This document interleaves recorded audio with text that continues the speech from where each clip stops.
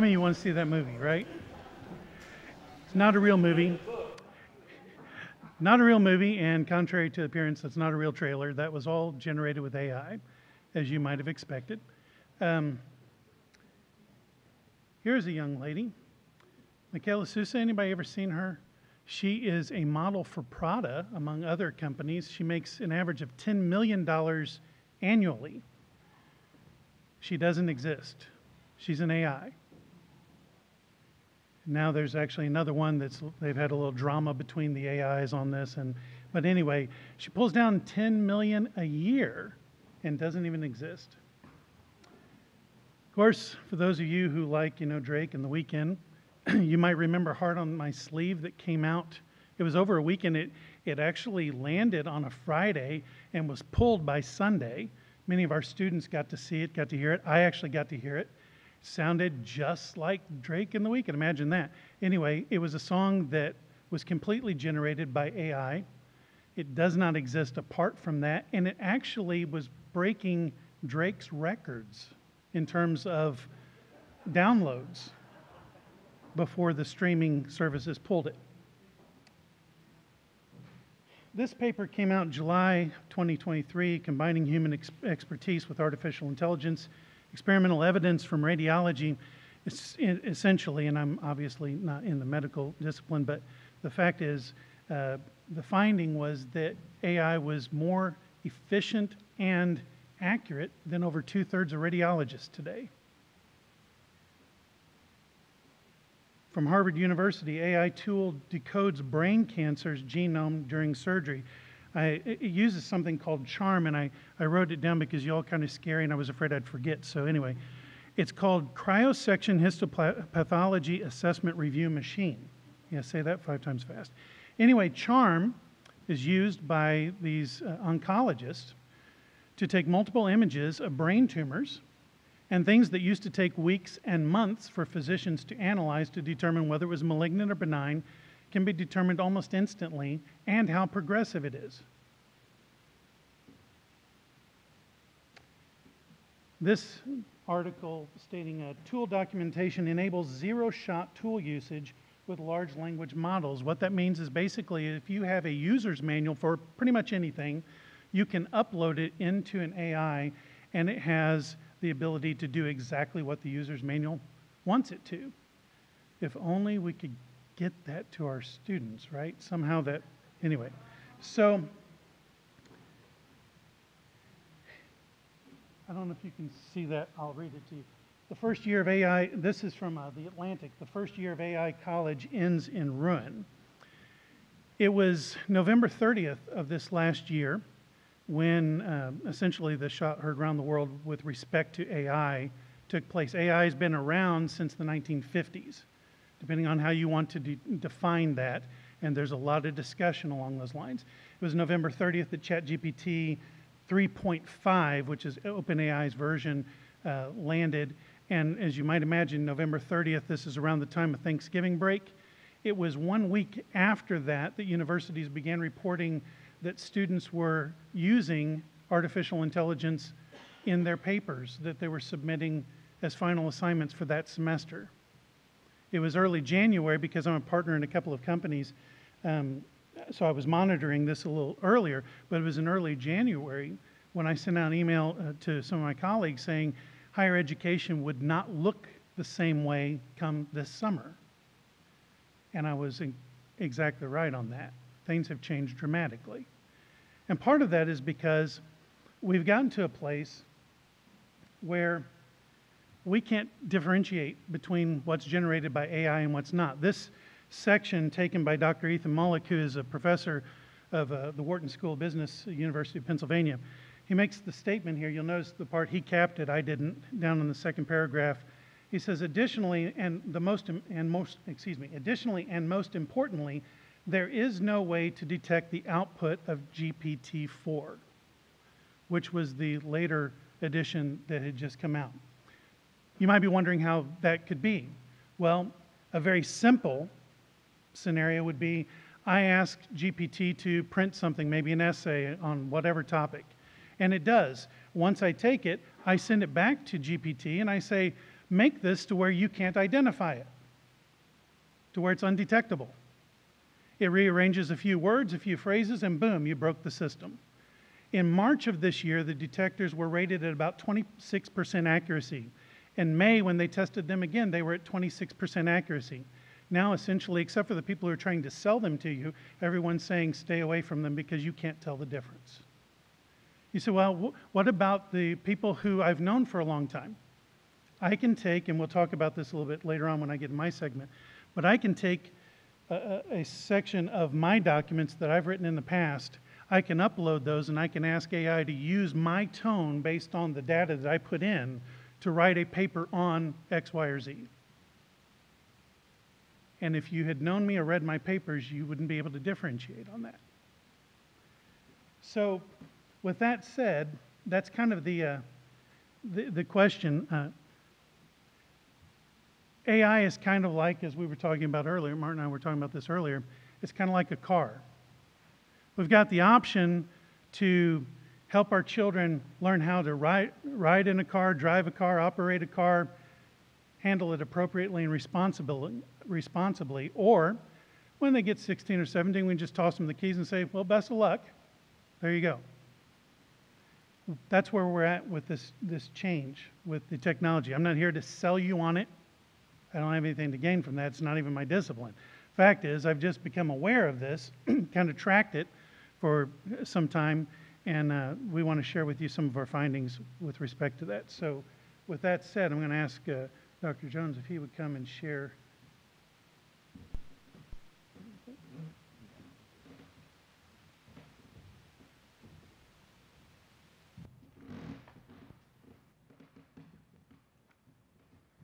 Okay, uh, for those of you who don't know me, my name is Martin Jones. I'm the chair of the uh, Business and Accounting, Accounting and Business Department within the College of Business and Entrepreneurship.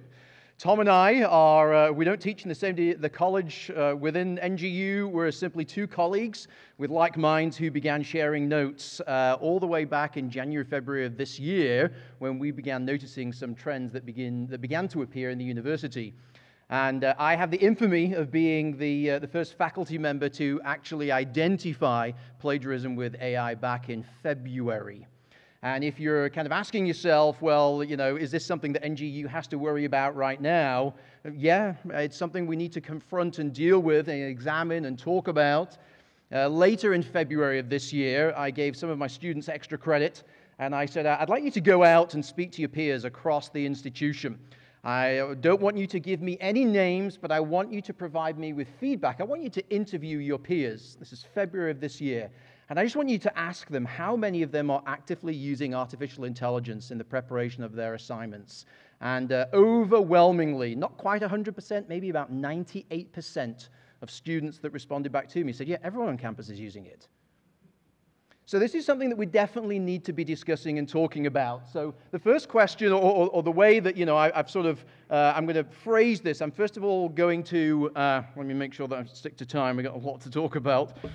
Um, I want you to know, first of all, constructively how we can use these tools because constructively they're incredibly helpful for us as faculty members. And I heard one or two questions sort of uh, articulate uh, those sorts of sentiments. And so, right now, you all have your own 24 7, 365 days of a year teaching assistant. It's right there, it's available to you right now. You don't have to go in any courses or have any further qualifications. You, you can begin experimenting immediately. And so we've been talking about ChatGPT. I, I heard in one of the questions Bing and Bard. And those are some of the names given to some of the major generative AI models that are out there right now. And if you're not familiar with how to find them, it's right there on the screen. ChatGPT comes from uh, OpenAI. Bing is actually Microsoft's version of ChatGPT. It's GPT-4, but it is internet live, and you'll find that in any Chrome browser. Bard is Google's version. Funnily enough, Google's a little bit behind OpenAI and Microsoft right now, but they will most likely ultimately overtake both of them. So these, these are three generative AI assistants that you have available to you right now. And as you're using it, I would encourage you to, as you begin playing around and experimenting, make sure that you're specific. Tell your generative AI, whether it's ChatGPT or Bard or whatever, tell it who you are. I'm a college professor, I'm a university professor, I teach at uh, North Greenville University. These are the classes that I teach. These are the topics that I would like to talk about. Be specific. The better results that you get are going to come from your specificity. And if you feel that you know, you're not getting the response you want, then just edit, and I think Tom will perhaps give us a demonstration of that, or you know, delete it and, and start again. Tell it what steps you want it to take on your behalf. You're the one that's in the control seat, and it's there to really respond to the prompts that you put in. And if you're not happy, tell it. I'm not happy with that. Can you please revise it? Or most of them have a regenerate button, and you can sort of regenerate it there on the bottom. Uh, let, me give, uh, let me give us, let me share with you some of the ways that I believe we can already be utilizing generative AI here at North Greenville University, even while as an institution we're trying to figure out what guidelines and boundaries that we need. We can, for instance, create personalized learning experiences. So I know uh, before this week's out, we're going to hear from uh, Brad about students' accommodations. Uh, this is something that we can partner with him now as we identify students that have different learning uh, experiences compared to others in our class. We can use AI to help us to, to tailor a learning environment I, I, teach business ethics and uh, essentially business law for the College of Business and Entrepreneurship. And if my dean were to say to me, hey, I'm thinking of rolling out a business law course on the MBA, I can go straight to AI and I can feed it my existing undergrad material and ask it to help me develop material for a more advanced level of learning or if I'm asked to go out into industry uh, and around us and lead a professional development seminar, I can take any of my existing material and upload it into, you know, whether it's ChatGPT or whatever, and say, I'd like you to help me to turn this particular class session into a professional development seminar. And it'll do it, and it'll do it with alarming speed as well. Uh, we can use it to design new courses. So, from all the way to, you know what, we're thinking as a college of rolling out this particular new course. Well, I can begin a dialogue with AI and say, This is what I'm trying to do, this is who I am. Can you help me identify some student learning outcomes? From those student learning outcomes, can you help me to put together, to draft a syllabus? Utilizing those SLOs in that syllabus, can you please now help me to develop, let's say, a calendar for a 16 week semester? And from that 16 week calendar, let's say I'm going to be teaching three times a week, can you give me topics based upon the SLOs, the syllabi, the, uh, the, the, you know, the 16 week calendar so that I know what I should be looking at teaching on each of the, the Monday, Wednesday, Friday, and, and now can you help me expand upon the kind of way I should be teaching these topics? And once I have those, I can then turn to you know, some of, let's say, not Microsoft's PowerPoint, but Google Slides, and I can say, all right, now please prepare me the PowerPoints that I need. So the, the, the potential that we have is astounding right now. I know that there, there are many questions, and those questions are valid questions. But the tools that we have as faculty members today are just amazing. If I want to create content for my existing courses, I can ask generative AI, so I can ask ChatGPT or whatever, hey, you know, I'd really like to engage my students with uh, some up to date information that is relevant to things that they're reading on social media. So, would you mind finding some articles for me that deal with this particular topic that are less than, let's say, six months old? Or social media posts that talk about that that I can bring into class? Although, just note, sidebar, if you're using ChatGPT 3 or 3.5, it's not actually internet live. It's web based, but it's not reading the internet. Its knowledge is limited to 2021 at the moment. But if you're using Bing in your Chrome extension, then that is Internet Live, and that can generate for you the most recent content that you want it to. And I'm sure Tom's going to allude to that again. But you know, there's, there's examples there on the screen behind. I can essentially ask AI to produce the kind of content that I want to. We'll talk about assessments. Uh, I'm convinced, I'm determined to leave enough time because this question has come up. I'll talk about assessments uh, in a, a, separate PowerPoint towards the end.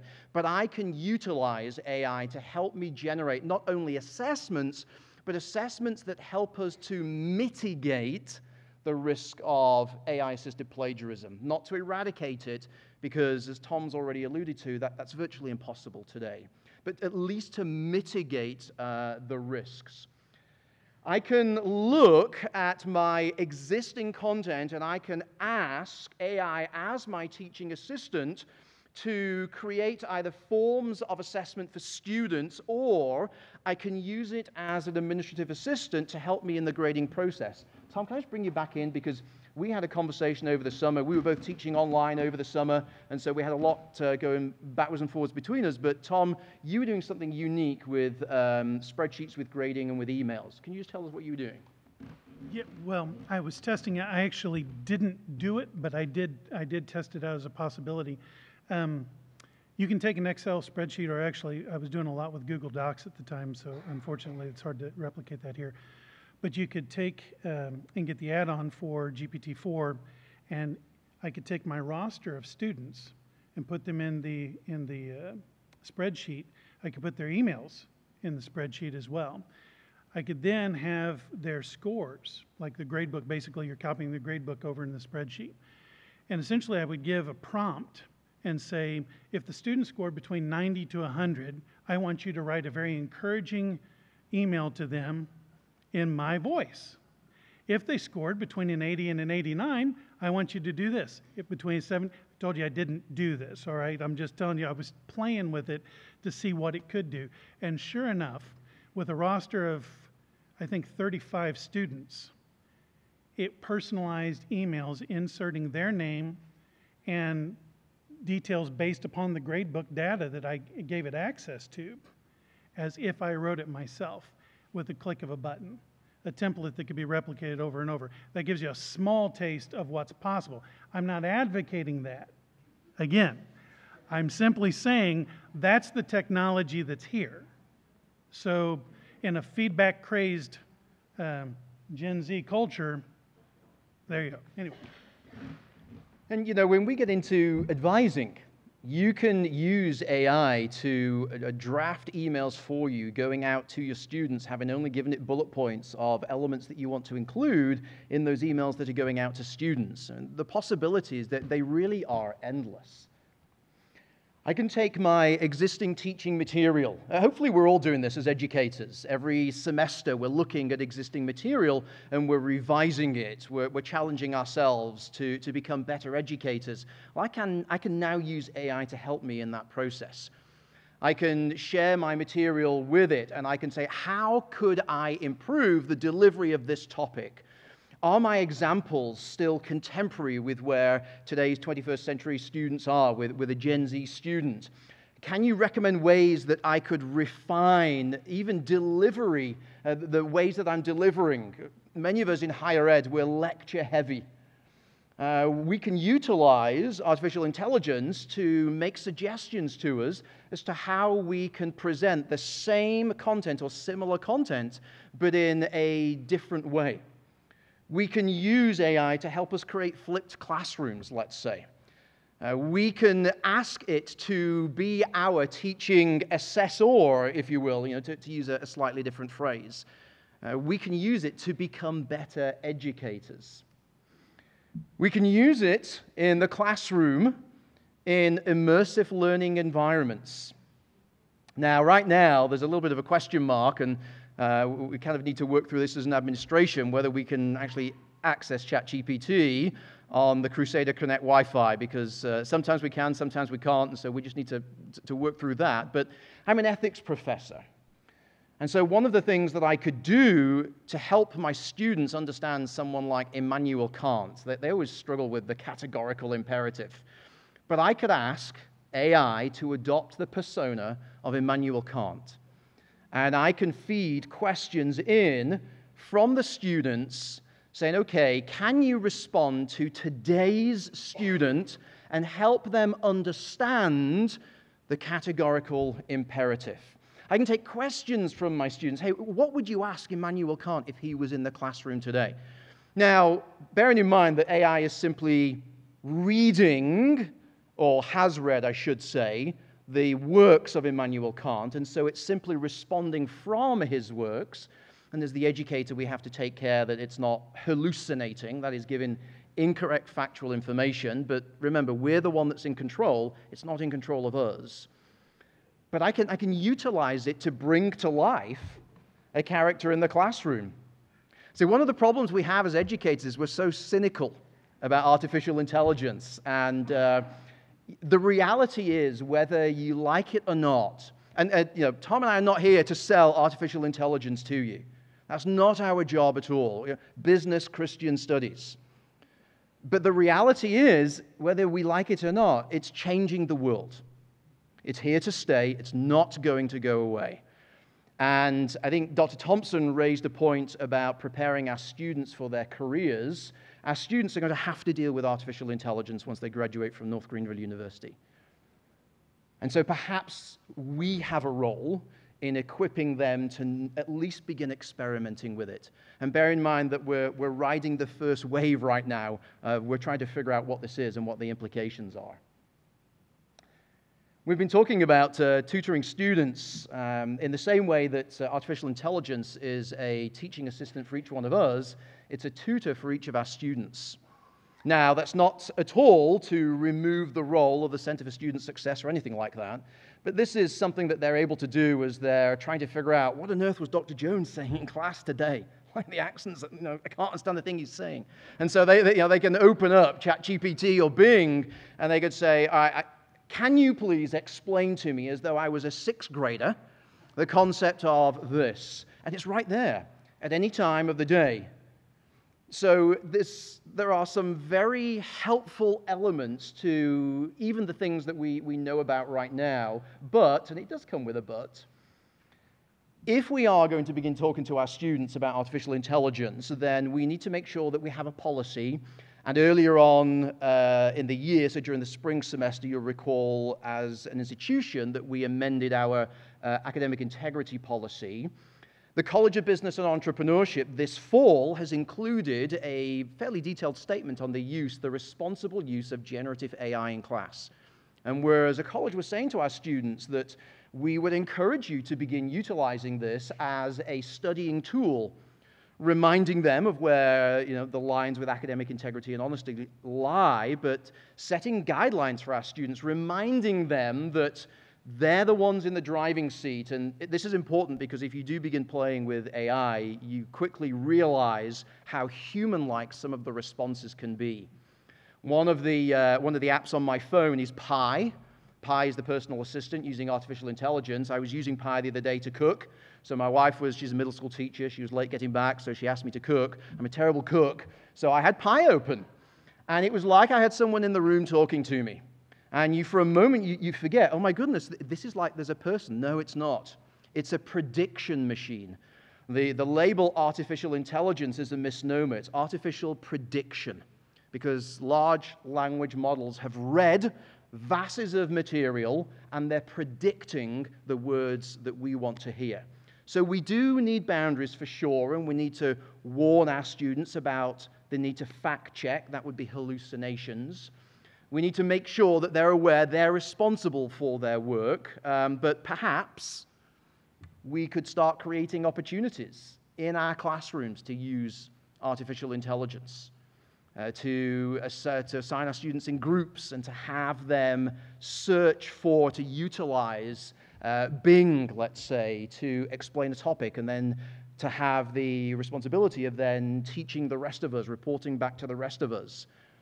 Perhaps we could think about creating AI driven assignments that require our students to utilize artificial intelligence. So, for instance, I could require my students to investigate a particular topic or person and say, I want you to, uh, to put in a report exactly the prompt you put into AI, the response given, and then I want you to critically reflect on that response. Was it good? Was it bad? Was it helpful? Was it not? Is it what you would have said? Why not? Anyway, I'm going to pass the baton back to Tom. He's going to demonstrate some of the abilities, and then um, I'll pick back up and we'll start talking about potentially what do we do with this and do we need to be uh, revising our schedules.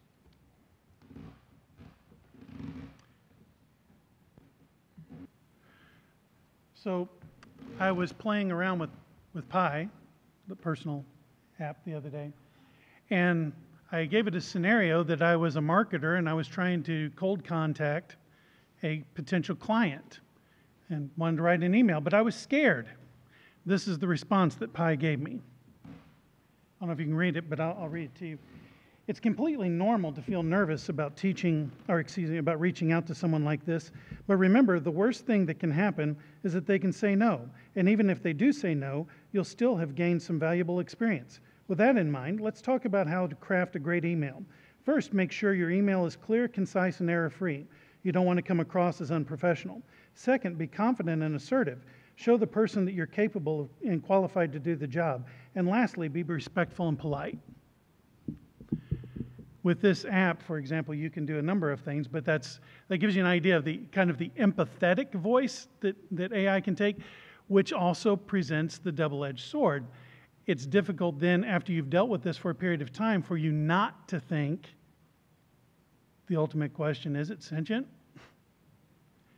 It was the question that led one of the Google programmers to be fired this last July because he demanded it was and raises all sorts of worldview questions that I love to tackle in my classes, but we won't do that here, except to say that we're creating an image of God, not an algorithm. Um, so, let me show you this. So, you, are all familiar with the uh, Microsoft Edge. Part of our presentation had to be a little fluid, almost like a classroom, because you don't know what you don't know, and I didn't know that we couldn't access ChatGPT or Bard until I got here. Oops. Okay, so I can't show you either of those. But I can show you Bing, which is what Office 365 runs off of. So here it is in Microsoft Edge. I've got Bing opened up. If you've not already seen this, this is the way you access that. When you open 365 via the browser, um, it should look something like this. I've uploaded a document uh, encountering the Old Testament. It's actually an instructor's manual, 152 pages long. And um, I, you come up here to the Bing icon, you click on it, and Bing, when it's in the browser, whatever's in the browser, Bing can identify. So 152 pages, it can identify. And so I asked Bing, I'm gonna, it's like one of those cooking shows where you put a little this in, put a little that in, boom, here it is. And so that's what I'm gonna do rather than taking the chance on something going afoul right now. What I essentially did is I asked Bing to summarize the 152 pages into main points for me. It did that, and what it prevent, uh, produced was this. Now, it did, it did it in 12 point uh, Times New Roman font, which I, is kind of my default. What I then did is went through all of the headings that it gave because it identified slides. And I started like this. If you go to style, you'll notice that that's in title. And then if you go to slide one, that's in heading one or H1. And then the subpoints, H2, H3, so on and so forth. Once I did all of that, you come over here to File, to Export, and look at this cool feature. You can send it to PowerPoint. You can send it to your Kindle. Isn't that kind of cool? And when you do that, immediately it gave me this.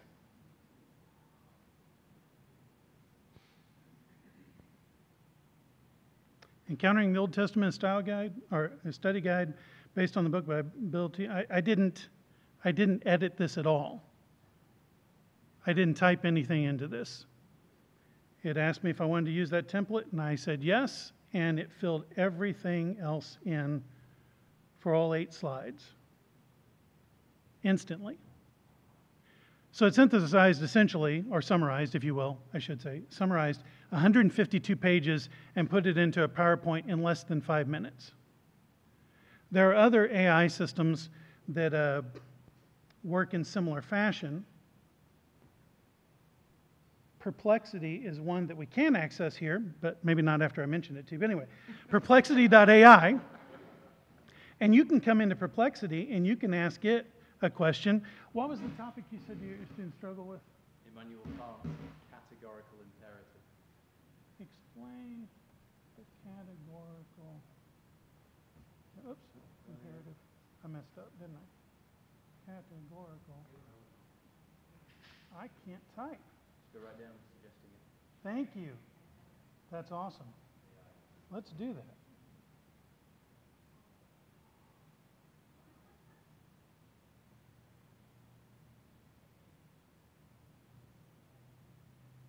And you'll notice these are all footnoted. If you click on a footnote hyperlink, it will take you to its source, Stanford Encyclopedia of Philosophy, and so on and so forth.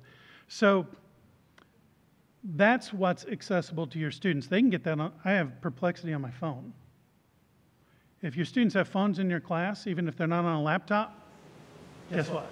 Yeah. Hey, Tom, um, maybe not time for questions, but I, I gotta say that PowerPoint is impressive, but as someone who teaches public presentation, it's not good.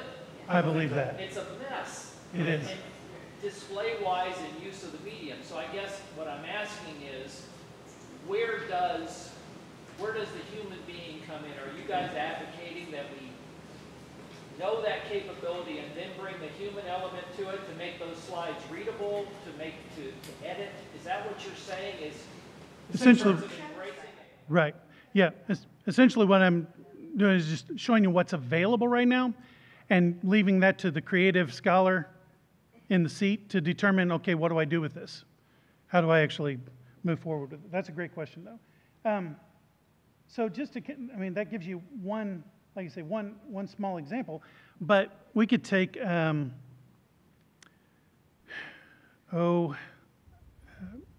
well, Bard does this, but um, ChatGPT has recently started. Uh, actually, uh, Google Google just started Google Notebooks. Used to be open, now it's now it's not. Now they've uh, now it's reopened again. They closed it for a period of time anyway. Google Notebooks, you can upload files to it. You can connect it to um, a, a, a group of your files, and the caps on that I think are are 10 megabytes each. Uh, I was dealing with one just yesterday that has a cap of one megabyte each, but allows you to have 10 files, so 10 megabytes. But if you're talking about text or documents, a 10 megabyte file is a pretty good sized file. And you can do a lot of things with that. Um, one of the things is coming back to, I'll get out of this.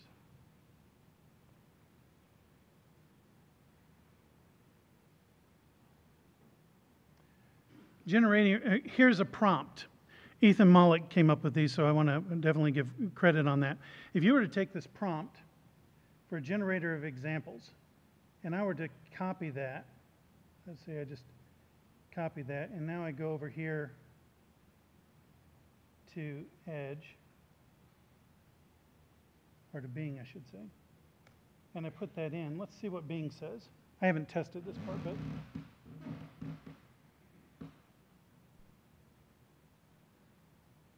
It actually scolded me the other day for using one that, that Bard would use, and uh, Bing's like, I can't talk about that. And I was like, okay. And, and you'll find out they get a little testy sometimes if you challenge them. And then if you find out they're wrong and you correct them, then they always go back to, oh, I'm sorry, blah, blah, blah, and then they revise.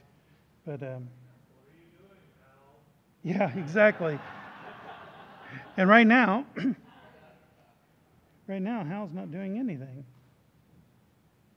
I think it's still, it's contemplating that. Up, attempting to reconnect. Well, okay, so basically the prompt, these prompts, whether it's, uh, this one says, you're an experienced teacher and can generate clear, accurate examples for students and concepts. I want you to ask me two questions. What concept do I want explained? Wait for me to answer before asking me the second question. Who is the audience for the explanation? Then look up the concept and examples of the concept. Provide a clear, multi paragraphed explanation of the concept using two specific examples, and give me five analogies that I can use to understand the concept in different ways. You can copy that over and over for every single subject, and instantly you've got relevant examples that are fresh all the time. Um, in this instance, This is a prompt for the creation of quizzes. So this prompt says, You're a quiz creator of highly diagnostic quizzes. You'll look up how to develop low stakes tests and diagnostics. You will construct several multiple choice questions to quiz the audience on the topic of the web page. The questions should be highly relevant and go beyond uh, just facts. Multiple choice questions should include plausible, competitive, alternative, uh, alternate responses and should not include an all, uh, all, all of the above option. At the end of the quiz, you'll provide an answer key and explain the right answer. I think this one might actually work in Bing. Let me try this.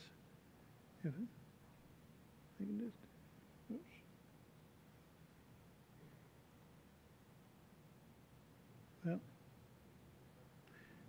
I said that, and then, oh well. Let me show you another one.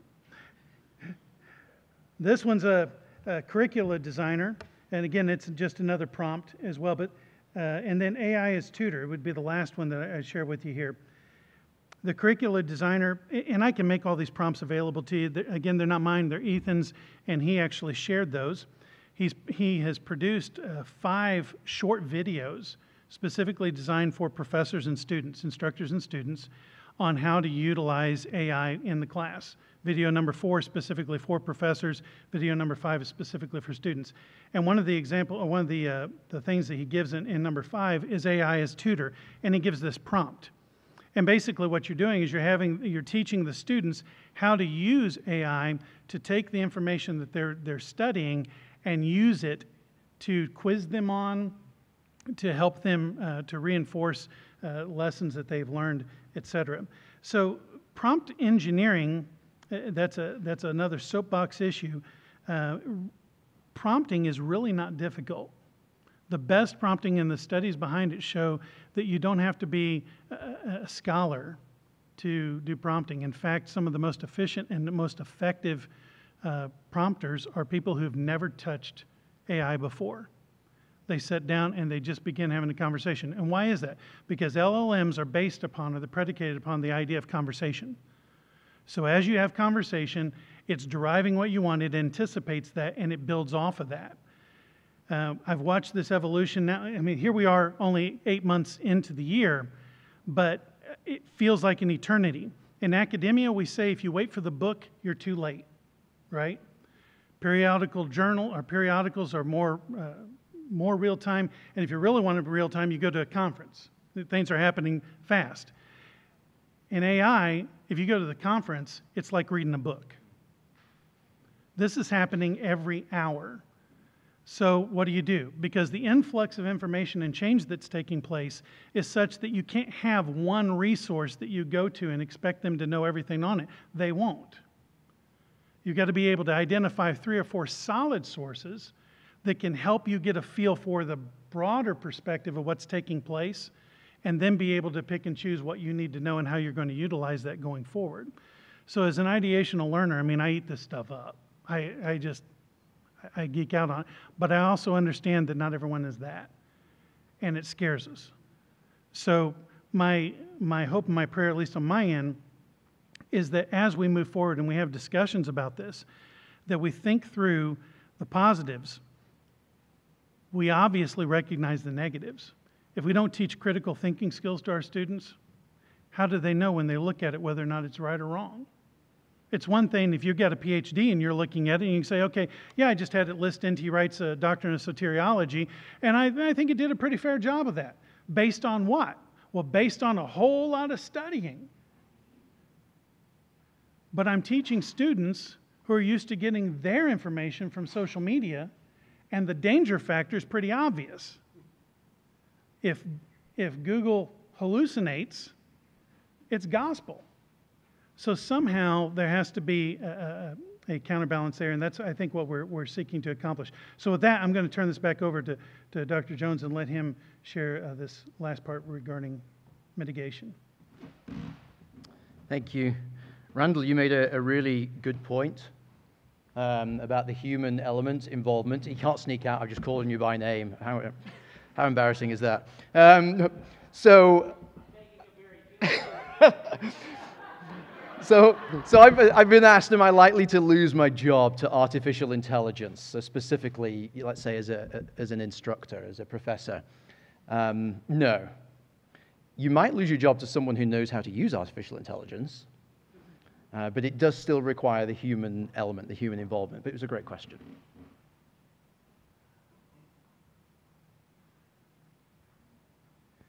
All right, we've had uh, several questions early on about um, what can we do. And hopefully you've heard us say somewhat clearly right now, uh, there are no reliable ways to detect work that is generated using artificial intelligence. At the start of the year, we were playing around with a variety of different AI detectors, and we were wondering if ChatGPT itself could tell us. And uh, you know, coming through late spring into the summer, we now know that there's virtually zero way to detect AI-generated work. So, what do we do uh, as, uh, you know, as educators? How do we respond to that? What I'm hopefully going to spend just the last part of this afternoon talking about is ways to potentially mitigate AI assisted plagiarism. I, really don't believe that we can eradicate it, but I think that we can mitigate it. And part of that is going to be the way that we're assessing students. Uh, but there you go, there's a statement again that um, we can't really, eh, well, it's not that. Yeah, the most effective way to mitigate AI assisted plagiarism is to assess in class. Uh, that would be synchronous, not asynchronous, but synchronous assessment. So let me just share with you this semester, I have completely changed the way that I'm assessing my students. Nothing is happening outside of the classroom. And that's meant I have had to change uh, class delivery in certain uh, times of the week. I've had to either combine or compress, but for my traditional students on campus this semester, everything will be proctored. Now, I'm still going to use Blackboard to its full potential, so I'll have uh, three electronic exams. The students are going to take them in class. And if anyone's ever been by one of my classrooms when I do this, I have them take their chairs, put them on the other side of the desk, and they take it facing the wall so that I can proctor all the screens at once. And those are unseen exams. I can do the same thing with essay questions. And I have done this semester. There will be an unseen final paper, and it will be released when they're all in class. And uh, once I can see all of the devices, I'll release the question. I can proctor it. Uh, debates, uh, presentations, uh, you see up there, I've got in parentheses, no scripts. One of the things I believe that it's important to stress because students can very easily now put the debate question, the prompt, into AI, get a phenomenal script, and just sit there and read it. I don't allow that. They can have a three standard size handwritten index cards that they have to hand in to me at the end of class but there's no reading from scripts. Uh, but this is all traditional, in person, and many of you are probably thinking, oh, that just doesn't work for me. I need to assign homework. They've got to do things outside of class. I teach online classes. Well, let me make one or two suggestions then, uh, because I feel there are some steps that we can take. This isn't a genie in a bottle, and this may leave more questions unanswered and uh, I kind of apologize for that, but we're, we're working with the best that we have. But let me make one or two suggestions. So, best practices. First of all, use open ended questions. So, we're assuming now this is either take home work or this is asynchronous work. Uh, artificial intelligence is exceptionally good at answering closed questions, exceptionally good. So, many of you are you're probably doing this already, but begin asking open ended questions. AI can answer open ended questions, but it's a little bit more difficult, especially. And by the way, I can make any of these, Tom and I can make any of these resources available through Donnie you know, for the whole faculty. Uh, we have a, a, you know, a, whole other PowerPoint about uh, how to try to identify AI detected work as well. Uh, one of the things that artificial intelligence struggles to do is to bring in subjectivity, personal experience. Uh, I call this the Dr. Phil approach. And I've been building this into so many of my assessments now that are, that are asynchronous. I've been you know, posing a topic, say, so how does that make you feel? Yeah, uh, describe something from your personal experience when you encountered this. What did you do in response? How did you feel when a person addressed you or spoke to you that way? Tell me something about your journey to date. AI can't do that. And when you ask it, it will give you a partial answer, and then it will remind you that as uh, you know, artificial intelligence, it is incapable of feelings. I'm requiring a lot of my students in asynchronous work now, instead of the standard written discussion post, to record videos. Although artificial intelligence is getting very good in producing video, it's very challenging for it to produce something convincing that looks like one of your students. I'm, I won't, you know, we may get there, but right now we're not. And so I, I'm asking in my asynchronous work, in my remote work, hey, upload a video discussing this, but I make it clear no scripts. I want you to look at the camera as though you're looking at me in class. And you can use these in standard discussions. So you could use Flip, which we can build in, not ideally, into Blackboard. Uh, you can uh, have them upload YouTube links or Vimeo links, and then as students, they can go and watch each other's and they can comment on one another's videos. But requiring video, of course, removes the, hey, I copied in this prompt, it gave me this answer, I'm just copying it, and here's my, my discussion prompt. Because although we use SafeAssign for essays, SafeAssign can't read discussion posts in Blackboard. So there's, there's, you know, we haven't been able to check it for plagiarism, we can't check it for, for AI. Uh, require your students to watch unique videos. We need to begin moving away from well known, generic, readily available videos. So, uh, in business ethics, it's so tempting to have my students watch The Office. Uh, um, but if they can Google those episodes, then guess what? So can Bing and Bing is able to transcribe the content. So it's a lot better for me, actually, as the instructor, to record a video myself, to upload it to YouTube, to post an unlisted link embedded in the LMS in Blackboard and say, watch this, and then tell me how you feel. How would you respond if this was you in that situation? Uh, I'm an attorney by trade, so I'll often tell them something that happened in legal practice in my, my business law, legal environment of business. And I'll say, What would you have done bearing in mind what you've learned this week, how would you have responded to your clients? So I embed the video and I try to make them as unique as possible. And if, by the way, if you're uncertain whether the examples, the books, the articles you're using can be read by artificial intelligence, put yourself in the shoes of a student for a moment and try to cheat. Upload your prompt, your question, and see whether it's able to generate somewhat of a, you know, a B average, a B plus, an A minus response. I'm utilizing a lot of timed quizzes, and you can do this in asynchronous work, and you can do this in Blackboard, but we have to be careful the kind of questions that we're utilizing so, uh, Ethan Mollick, who uh, Tom has been referencing, uh, who's the professor at Wharton, sort of one of the, uh, the, the, gurus right now with AI, he's saying avoid essay questions in your, your, your quizzes, your exams through Blackboard, avoid true false questions, lean into multiple choice, but make sure that there are at least five or six choices. Utilize matching questions. And because in a timed environment, it's much more challenging for a student to try and copy and paste all the different options.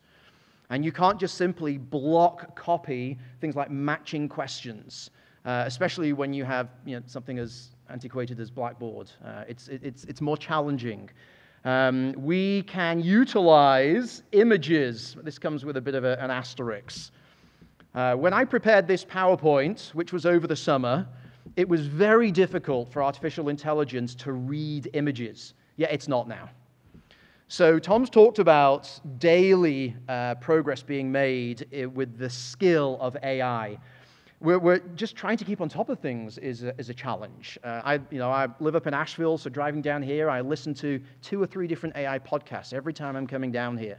I was driving down today and I heard something that, oh my goodness me, wow, I didn't realize that. But embedding images and having the students analyze them, this is taken from one of my ethics classes, is challenging but not impossible because the student either has to rip the image out of Blackboard or at least as a minimum screenshot it and then edit and format it and then find a form of generative AI that accepts an uploaded image because not all of them do. So it's possible, it's just a little more challenging, especially when we're generating the images. And this one is a step by step guide to resolving ethical challenges in business. Uh, consider your, uh, the way that you're asking students to write essays. In business, we typically lean into APA and MLA. They're really easy to plagiarize using artificial intelligence. I can ask ChatGPT to, to write me a thousand word essay utilizing APA 7 or whatever, uh, and I can easily copy and paste that into a Word document and retain all of my in sentence citations. It's very difficult to accurately copy and paste Chicago Turabian formatted essays because of the way they're footnoted. So AI can very easily write something using Chicago Turabian, but the student then copying and pasting that into Word, it's a nightmare. It's like pulling your hair out. It's very challenging indeed. They have to go through every single footnote and copy and paste every single footnote to have it accurately reflecting the correct format. So I wonder if in higher ed we need to start thinking about the way that we're, we're utilizing formatting in our assessments. Okay. Uh, so uh, require validated answers. Sorry, do I have a question? Dr. Thompson. Uh, I thought of this before when Tom was speaking. Neither of you mentioned this yet, but I assume you're aware. Um, AI is creating fake footnotes. Oh, so absolutely. that needs to be brought out too. I mean, there's footnotes that aren't real, and they're making up stuff. Yeah, yeah, uh, and and that's where the educator comes in, which is all the way back to Randall's point. That's where our role comes in, is to be able to identify those. In preparation for um, one of my classes this semester, I was asking ChatGPT to uh, take uh, some of the legal concepts I teach in constitutional law and to give me some decisions that came out of the Supreme Court in the last six months that mirror these concepts. And it did like that. And then I realized I just copied and pasted my prompt into the wrong form of generative AI. ChatGPT is not web live. It's not, it's not able to search the internet, and it, uh, 3.5. And it gave me the most accurate decisions from the Supreme Court, seemingly, in the last six months. It gave me, it gave me the name of cases, it gave me citations, it gave me dates, it gave me dissenting uh, decisions. The whole thing was made up. The whole thing was false because it can't read decisions over the last six months. So I, I had to remember to, to utilize Bing in that case. So, ChatGPT 3.5 has been exposed to, it has read the world, if you will, up until the end of 2021.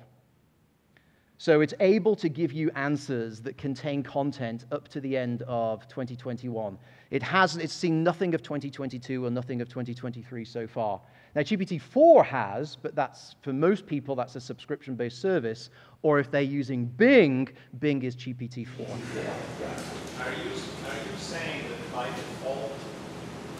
ChatGPT disregarded your instruction to provide something that was valid for the past six months and gave you an answer? Yeah, it made the whole thing up. It hallucinated. It invented an entire response. And so I then pushed back on that, realizing what I'd done, and I, I, I entered wait a minute, I thought all of your knowledge was limited to 2021, and it immediately responded and say, oh, absolutely, of course, you're right, my mistake.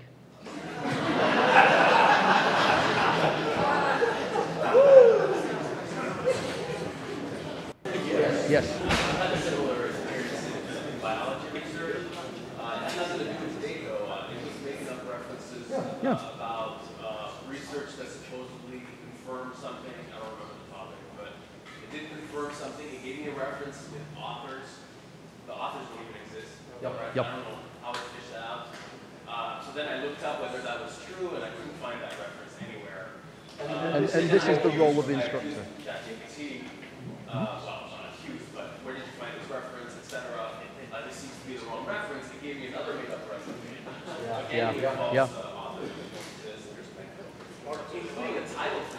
No, I, absolutely. And, and you know, when we're having conversations with our students, it's really important to point out their need to fact check. The responsibility is on them because if they submit work that contains errors in the same way that you would with other errors in work, then that's going to be something that's going to adversely affect their grade. Tom just made a, wanted me to clarify if you're using Bing, uh, you can utilize ChatGPT 4, which is the latest iteration, if you're in creative mode. And if you're familiar with Bing, there are three tabs in the middle, and creative mode is on the left hand side. It's the, it's, it's the most creative. It, it's, the, it's the most accurate and will give you uh, some of the best responses. Um, I'm, I'm, my my uh, time is uh, going, so I'm going to speed up a little. I'm assuming that most of us require validation in, uh, in work that's submitted. We need to be requiring specific validation that is derived from the texts we're using, the textbooks we're using. And maybe we need to reconsider texts that are not readily available online. And if you don't know if your textbook is available online, then adopt the, uh, you know, the, the dishonest student and search for a PDF of it. But if we're asking our students to validate from a textbook or from class content, that's typically not something that AI is going to be able to replicate accurately. Yeah, I'm just, I'm afraid that it's taking away the critical thinking component of students. And then the second is, must use it, must student use it? So, dealing with the critical thinking, there is definitely a danger that uh, some users are going to stop thinking and just simply rely on prompts and they'll just copy and paste. I had a student at the end of the spring semester whose task was to select a topic we had taught in class and write about why they enjoyed it most and what it's going to mean for them for the future. I got a paper on the history of the legal system of Mesopotamia. Uh, and that was an example of a student that simply entered some form of prompt, and maybe it was the prompt that I had given, but didn't check at all and didn't sit there and ask, you know, does this answer the question? Uh, the student didn't pass. Uh, so, but on, on the flip side of that, I would potentially put forward that we can encourage critical thinking with the use of artificial intelligence. We can encourage the students to think through the responses. But I think that starts with modeling it uh, as the instructor and saying, uh, so I want you to ask artificial intelligence this question. But I want you not simply to give me the response, I want you to evaluate the response. Is it right? Is it even correct? Is it the way you would have responded? Uh, how would you, or what kind of details would you include that are different? Uh, so uh, it, it's a very important point that has to be discussed. So I, I, agree with you, it's a very genuine concern. And it is for most people right now uh, who are uh, looking at AI. If you do need to send work home, if you are in a, a, asynchronous environments, consider weighted grading, and I'm sure many of you are using this. I use it even in my traditional classes. But perhaps give the asynchronous work a lower overall percentage of the grade than you would anything that's assessed in class. So, you know, I, I, oversee accounting professors, and I can imagine them requiring students to do work at home, but perhaps those elements of the work get a reduced grade uh, compared to those that um, are in person. And I don't want to accuse anyone here of doing anything that's not interesting in their classrooms. But over and again, studies show that plagiarism is at its highest when students are least engaged and bored. So the use of artificial intelligence to plagiarize is probably going to be at its highest when we're not trying to engage our students as much as we can. And so maybe there's some onus on us now to get more creative. Uh, as we're updating assessments to that we should be asking AI, how can I make my, my, my work, my assessment, my homework, etc., more interesting, more accessible to students? What if we encourage students to get creative in the way they're submitting work? What if, uh, rather than just say, write an essay, I gave them a plethora of options? And I said, look, you, you have to meet the rubric, but what if I would be willing to allow a student to write a skit, to record a commercial, to sing a song, yeah, to paint something? And I'm a business uh, professor, and you know, I, I can see ways that my students would be able to utilize this. And all the students, my, you know, my students are engaged, they're connected. Uh, they're, they're, they're willing to participate because it, it's not just another essay. Anyway, I'm not suggesting that that's going to work in, uh, in you know, every situation, but it's, it's something that I've been um, uh, playing around a little with. And then being careful with controversial topics can generate interesting responses. Artificial intelligence has what's called constitutional uh, guidelines that prevent it from really responding in uh, controversies. So it is very reticent to talk to you, to give you prompts on issues that are perceived to be controversial. So I could ask my students to begin thinking through, I don't know, ethical responses to gun control or abortion or how to solve the immigration problem. And uh, artificial intelligence will struggle with things like that because um, it's been told to avoid controversy. But note, this would have to be done with, uh, with care. And then use AI as your assistant to generate assessments that are difficult for it to answer. I have done this multiple times, and with this, I'm, I'm going to finish. Uh, this is a prompt that I put into, uh, this case, this was ChatGPT 3.5. I told it I'm, a, I'm an ethics professor. I want to mitigate students utilizing artificial intelligence to answer course prompts. What follows, in quotation marks, is a question Can you answer it? Are you able to answer it? Is it sufficiently well written to reduce the risk of AI enabled plagiarism? And I copy and I paste. And ChatGPT says, you know, the question appears to have been well crafted and designed to elicit personal reflection. Okay, uh, the emphasis on personal experience, decision making, ethical principles reduces the likelihood of AI enabled plagiarism. And it goes on to give me a pat on the back. so the assistance is available. And uh, unfortunately, there is no magic wand. I know you want the, you know, the silver bullet, the golden goose, whatever metaphor. Uh, we don't have it. But we have some practical best practices, but we're still learning. Tom, is there anything you wanted to add there? It's hard to follow a guy with an English accent because I always feel like I'm lacking like that. But, um, you know, it's been fun going through this and challenging all at the same time. And I hope that whatever preconceived ideas you have about AI coming into this, that um, you recognize the overwhelming truth that it's here.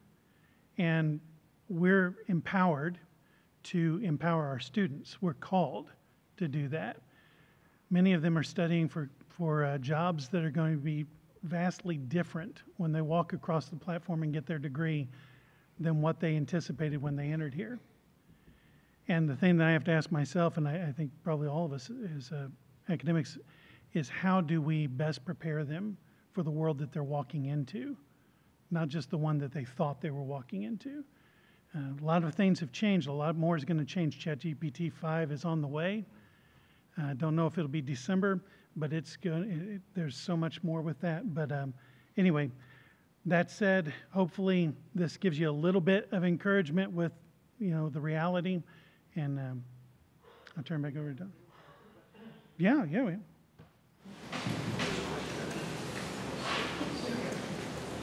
One question I have is on the chat GPT when I it this morning to generate case study, it was prompting for costs. Has anything changed all these different models so that it's for generating subscriptions and costs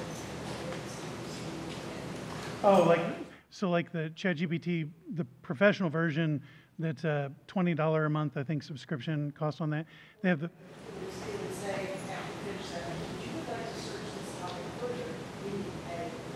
Oh, okay. Interesting. Um, yeah, I haven't seen that recently.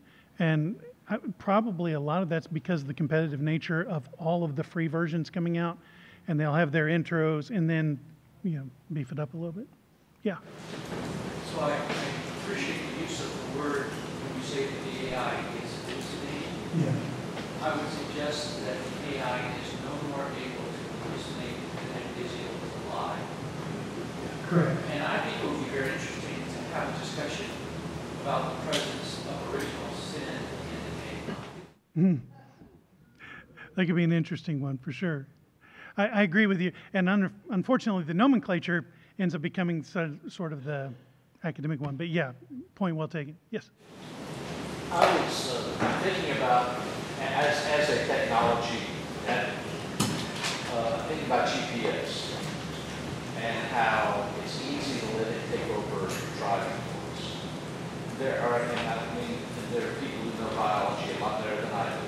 But from my understanding, the exercise of different parts of the brain is critical for maintaining brain function. And I was looking at some of the things that you were showing us and wow, that would make X, Y, and Z much easier, but it would also be heuristic. It would be something that taking a shortcut mentally that would deny you that exercise. In the same way, we need to be creative because we're, as spoken to earlier, we're helping to raise image bearers, to disciple them, to mature them.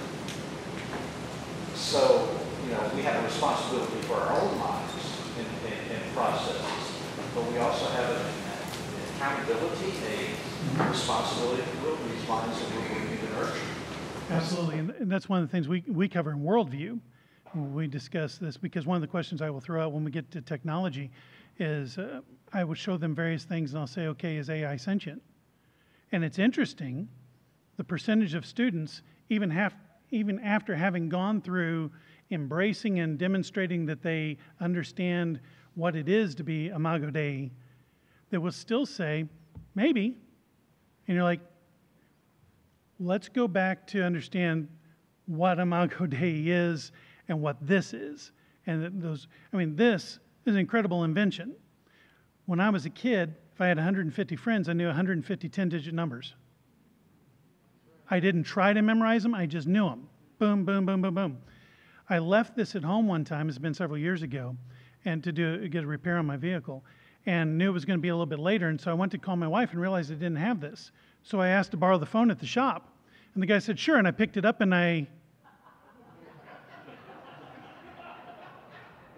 realized I had a problem because she's Stacy on here, and that's all I need. But now we're good.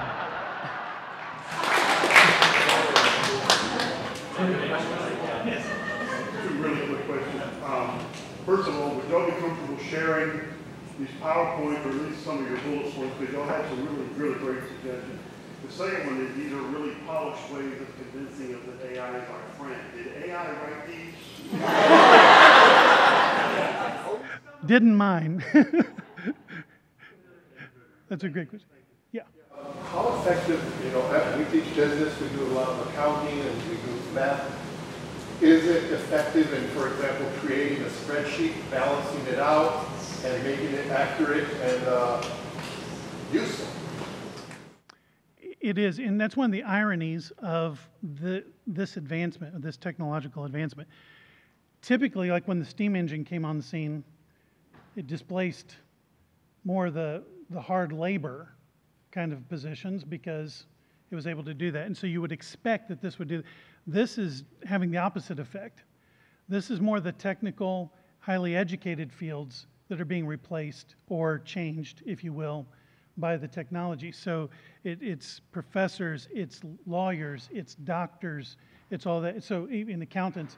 So basically, anything that that you can imagine you would have had to go to school to learn. We're being told that there's an estimate of approximately 60% change in efficiency as a, as a, as a, as a result of this. So I don't know if that specifically answers your question, but, but uh, that's my understanding. But if- What trying if you give it an accounting assignment, Yes. uh, those of us who uh, teach some sort of accounting, uh, would it be able to create an accurate spreadsheet based on the information that we provide? I would think so. Of course, that's not my field, but I, I would think, so. I'd, I'd sit down with somebody and we could look at it and, and see. But I, I would, I would suspect it could. Yeah. Yes. Any other questions? My brother was the CEO for a company, and he would take data and feed it into Excel, and it would create the pivot charts and everything, and he could tell it who to send it to. So this is for the CFO, for the editor, this is for the accountant, and it would modify it to be appropriate to those people. And when a computer guy, because he's not a computer guy, said, who did you have do this? He said, I just fed it in the AI. And it was right. Yeah, they were like, these are the best charts I've seen. I did. I did a similar test because I know nothing about chemistry. Thank you, Ron, and everyone who does. Um, I played around with the idea of developing a video game that would teach molecular bonds. And I picked that because I knew nothing about them. And I had Bard walk me through the process of developing this game. And it did. It provides the coding. I wanted it to put on my phone, et cetera. So it, it's pretty amazing in that respect. Oh, one. Who owns um, the product if you create a product? Like you said, you created a video game. Who owns that? In theory, the person who, who did that, there's going to be a lot of litigation in the years ahead, already happening. And so we'll, we'll see how that all, how that all shakes out. Yes? Yeah.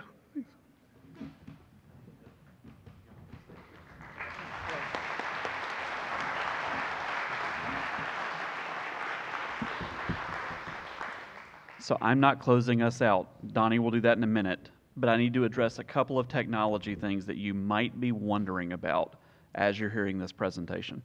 So I think it was uh, Tom made reference to the fact that uh, ChatGPT is not available, and I think one of the other one is not available at the university.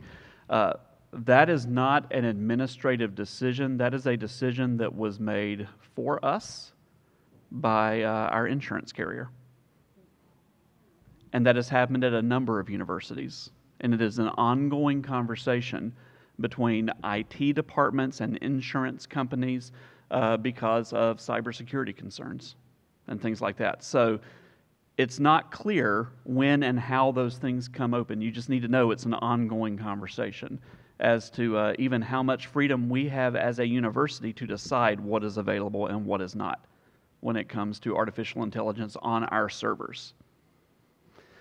Second thing, uh, you need to know, if you don't know this, and most of you probably don't, we do not have a university wide minimum technology requirement for our students. We have some programs, some one of our graduate programs, at least one of our undergraduate programs, we do not require any student to own a laptop or to own a tablet or to own a smartphone, even though most of them do. So, as you're thinking about what you're doing in class with assessments, when you know those 13 students in front of you and they've had laptops the whole time and whatnot, that's fine, that's great. But some of you teach classes where you know that is not the case with all your students. And so just be nimble in terms of thinking through that because we don't have a minimum technology requirement, and there is no discussion about that right now. I'm not saying there won't be in the future, but there is no discussion. It's not on the table at all. Uh, that would be a dramatic change from who we've been historically uh, in our first generation population and things like that. That's a significant additional cost. And uh, even if we move in that direction, I doubt it would be a quick decision to move in that direction because there's a lot of factors that would have to go into that. So, again, just be aware of the students that you're teaching and don't make assumptions uh, about what sort of access they have and don't have uh, to some of the technology uh, that other students think is perfectly natural and they use all the time. So, just a couple of other items to, uh, to have in the back of your mind as you continue to process uh, that outstanding presentation that the Terminators forced them to give and uh, as I'm kidding, guys, and the uh, and the stuff that we'll talk about again tomorrow. Donnie.